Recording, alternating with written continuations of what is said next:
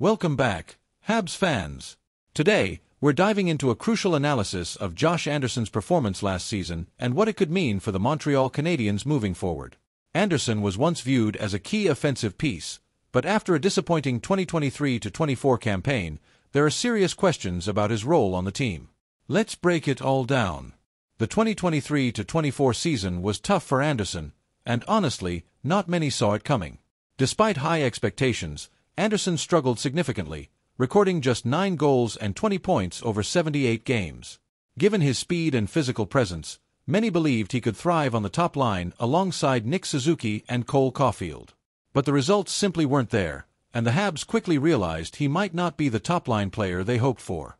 Anderson's dip in production isn't just a bump in the road, it's part of a larger pattern.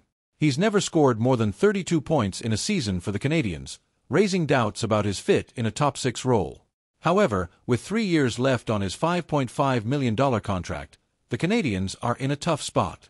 Moving him isn't likely, so he's probably getting another shot in the top six, just not on the first line.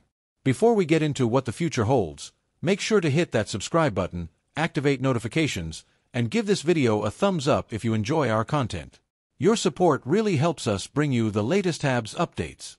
So, what's next for Josh Anderson? Chances are, he'll start the season on the second line, trying to find his groove in a more suitable role. But whether he can regain his form and deliver the consistent scoring the Canadiens desperately need remains a big question mark. For now, fans should temper expectations, but there's still hope that Anderson can bounce back and contribute more effectively this season. What do you think? Can Anderson turn things around, or is it time for the Canadiens to consider different options? Let us know in the comments below. As always, thanks for watching, and we'll see you in the next one. Go Habs Go!